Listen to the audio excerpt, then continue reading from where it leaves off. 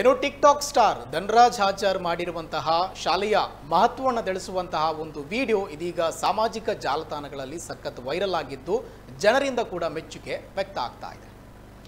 ಲಾಕ್ಡೌನ್ನಿಂದ ಕ್ಲೋಸ್ ಆದ ಶಾಲೆಗಳು ಇನ್ನೂ ತೆರೆದಿಲ್ಲ. ಆನ್ಲೈನ್ ಕ್ಲಾಸ್ ಮಕ್ಕಳಿಗೆ ಇಷ್ಟವಾಗ್ತಾ ಇಲ್ಲ.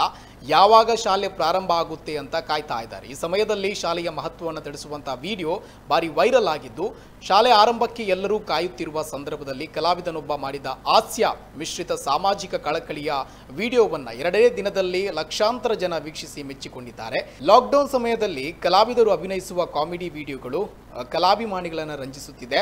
ಹಲವಾರು ವಿಡಿಯೋಗಳ ಮೂಲಕ ಕರ್ನಾಟಕದಾದ್ಯಂತ ಮನೆ ಮಾತಾಗಿರುವ ಮಂಗಳೂರಿನ ಯುವ ಕಲಾವಿದ ಧನರಾಜಾಚಾರ್ ಮಾಡಿದ ವಿಡಿಯೋ ಇದು.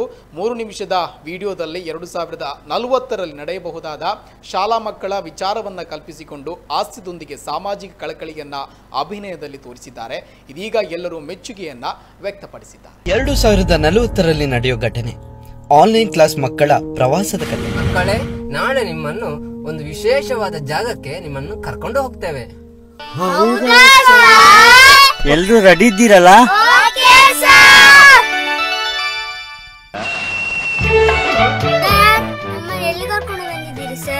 ಆನ್ಲೈನ್ ಕ್ಲಾಸ್ ಇಂದ ಬೇಜಾರಾಗಿರೋ ನಿಮ್ಗೆಲ್ಲ ಒಂದು ಟ್ರಿಪ್ ಕರ್ಕೊಂಡು ಹೋಗ್ತೀವಿ ಅಂತ ಹೇಳಿದ್ವಿ. ಆ ಟ್ರಿಪ್ ಜಾಗ ಇದೆ.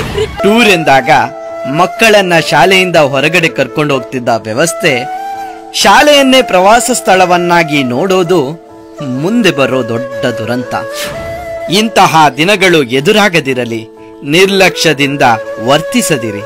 ಕೊರೋನಾ ದೂರವಾಗಲಿ ಶಾಲೆ ಆರಂಭವಾಗಲಿ. ನಮ್ಮ ಮಕ್ಕಳ ಭವಿಷ್ಯ ನಮ್ಮ ಕೈಯಲ್ಲಿ.